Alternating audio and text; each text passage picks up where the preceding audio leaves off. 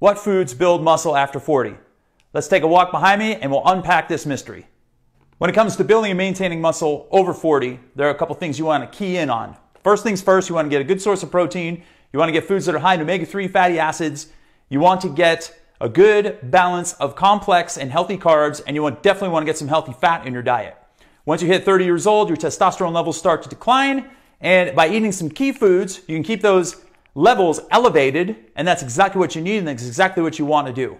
So let's start with one of my favorites and one of the staples in the diet to maintain muscle over 40, and that would be eggs. I'd like to get organic, free range eggs, preferably omega 3 eggs, but I didn't have a chance to get them um, this time around. I got these at the local grocery store. Always go free range and organic no matter what. We don't want any hormones or antibiotics swimming around in our body. That's toxic. It's not good for the body. I also like hard boiled eggs too. You can get these at Costco, organic, and they make easy additions to salads or any kind of meal if you're in a rush uh, sometimes and you can just have some vegetables like raw vegetables dipped in hummus and some hard boiled eggs for quick on the go food. That's going to help benefit your muscle mass. So eggs are a good source of protein. They're also good, a good source of lutein. They're also a great source of um, omega-3 fatty acids, which we just talked about. And omega-3 fats are specifically good because they help boost testosterone levels and they keep your um, body in a good hormonal balance at all times to help maintain muscle mass. So that's a key thing. And speaking of omega-3s, another great food you want to eat is wild-caught salmon. This too I get at Costco. And it doesn't matter if you get it at Costco or any local grocery store. Always go with cold water fish.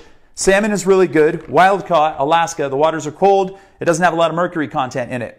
This is another great source of protein and omega-3 fatty acids. And might I also add, omega-3s are good for the reduction of inflammation too. As we age, we tend to build up more inflammation. And that is accelerated when you have bad habits like not getting enough sleep eating a lot of junk food, eating late at night, eating all day long, six to eight meals a day, drinking alcohol. That's the worst thing you could possibly do. Having a high amount of, of processed sugar, bad news. Processed carbs, bad news.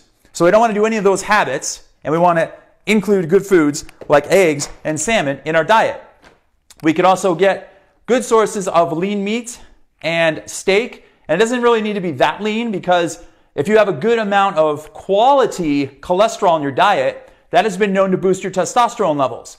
I used to love pork rinds, and there was a local Mexican market that had fresh ones that were thick and they're like gooey on one side and crispy on the other and salty, and they tasted absolutely amazing. I would get those by the bag. I would have a chunk about this big every single day with my meals, and that was my cholesterol hit for the day. So think in terms of red meat, getting your cholesterol and your protein and omega 3s from it all rolled into one. I would suggest Probably getting bison or definitely wild game is going to be your best option. And then any kind of organic red meat is going to be totally fine. I just don't suggest eating it every day of the week. Maybe once or twice a week is totally fine, and you're going to be okay there. Red meat is also high in D-aspartic acid. Eggs are also high in D-aspartic acid. That is a key nutrient to help top off those testosterone HGH levels as well. Keep that in mind. And shockingly, I believe it's nectarines are also high in D-aspartic acid. So if you want to throw those in your diet, be my guest. Organic, Extra virgin olive oil, once again, for the win. This has also been known to help boost testosterone levels. You can drizzle it on your salads, you can drizzle it on steamed vegetables. You can literally just put it in a tablespoon and eat it with your meal if you want to get that hardcore. So this is also a good thing to have. Another thing I would suggest is cruciferous vegetables. I have some pre-made broccoli. Is going to disappear in about after I get done with this video because I'm going to eat dinner. There's your broccoli right there. It's very colorful. It's very good for you. I also get this diced organic cauliflower. And also cabbage and sauerkraut and anything related to the cabbage is really good. Brussels sprouts, kale, and collard greens. All of these vegetables that I'm naming are cruciferous vegetables. Cruciferous vegetables help lower estradiol levels, which in turn causes a bump in testosterone. So it's like a balancing act right there. Not to mention, they're all very high in antioxidants, fiber, and water content. So they're going to do your body well and they're going to do it justice and they're going to help you maintain muscle mass. So eat those on a regular basis. Here's one of my secret smoking guns. I just got these at the grocery store today. I don't want to spill it. I'll get it close to the camera. Hopefully you can see that. You see it? You see me? You see? Now you don't, now you do. Pickled herring. Yes, in white wine. Don't get the one with cream because it's a little bit higher in calories and I don't know where it's been. Herring is actually a animal source of food that is high in creatine content. Now, all forms of animal protein are high in creatine, but herring is higher than pork, it's higher than beef, it's higher than chicken and turkey, and everything in between. So I would recommend getting yourself some pickled herring. This tastes delicious. I absolutely love it. And throw that into your salad. So if you made like a big honkin' salad with a lot of beautiful greens in it, which have a good alkalinity content, high in vitamins and minerals and antioxidants, and then threw in like two hard-boiled eggs and a big splotch of pickled herring and chopped all that up, you'd be good to go. And the only thing that can make that even better is this right here. See these? You know what they're called? Walnuts. Do you see the shape of the walnut? Look up, look closely. It looks like the brain. So, walnuts are good for brain health, but they're also a good source of omega 3 fats, and they're a good source of fiber, and they have a decent amount of protein for nuts.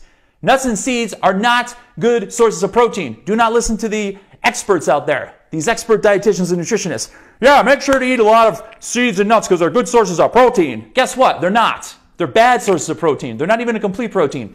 They've got a very small amount of protein in them. They're a good source of fat. Just look at the macronutrient profile of a food and you'll know the difference if it's a good source of protein or fat or carbs by seeing how many grams there are in there. These have probably 16 grams of fat per quarter cup and maybe 4 grams of protein and 2 grams of fiber. You tell me. You do the math. That being said, eat them anyway because they're a good source of omega 3 fats. So build your salad, have your hard boiled eggs, have your herring, put some nuts in there, chop them up, and you're going to be off to the races. Another thing I love a non animal based source of food that's good for building muscle and maintaining it quinoa. Make sure to get organic. You can get white, you can get red, you can get multicolored. I don't really care. Make some of this, and here's, here's a smoking gun for you. Combine quinoa with scrambled eggs and salmon and some cruciferous vegetables in a stir-fried medley. Dude, I'm telling you, if you make that and eat it, you're going to feel like Superman. Your muscles are going to absorb that. Any, anytime I have it, I'm using myself as the study here, I feel like Superman minutes after I eat it and the next day too, and I crush my workout the next day. I love quinoa because it is a non-animal source of grain. It's technically a seed, but it's called a grain that has all the essential amino acids represented in it. So it's a complete protein. It's very adaptable to different things that you put in it, like amino acids and stuff. Speaking of which, hold on. Let me get my, oh, forgot something. I'm to shake it up for you. Coconut amino acids, liquid form. I put that on everything. I put it in salads, I put it on steamed vegetables, I put it on quinoa, and that dish that I just told you about, the scrambled eggs with the quinoa and the salmon and the vegetables all combined together. I drizzle that in there and I blend it all together and it makes this delicious dish. So I would suggest getting yourself some coconut amino acids because remember, protein is comprised of what? Amino acids. Really what you're after when you eat protein is the amino acids. You're not after the protein. Yeah, it might taste good. Steak might taste good and fish and all these different things. But if you break it down, it is the amino acids that are the most important thing. Here, you can get some additional amino acids in your diet by adding this. And the coconut one is fantastic. The regular amino acids, they're okay, but I like the coconut one. It has this little bit different flair to it. Now, lastly, I've got two smoking gun tricks I want to talk to you about that are not necessarily related to building and maintaining muscle over 40, but these are very beneficial for the body. Chestnuts is one. These are organic. And apricot kernels, also organic.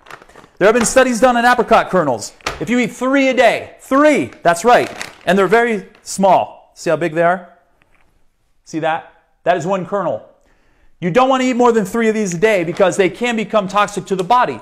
We have this term out on the streets where I spend a lot of my time called hormesis.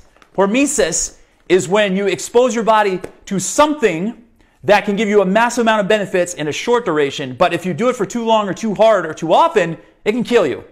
So biohacking is a big hormesis thing. If you expose your body to cold temperatures, if you roll around in the snow and do exercises sometimes, like I do, or if you jump into an ice bath, you can do it for so long, but if you do it for too long, it'll kill you. If you do it for a short amount of time, it's going to boost your health through the roof. It's going to boost your testosterone and all these different things.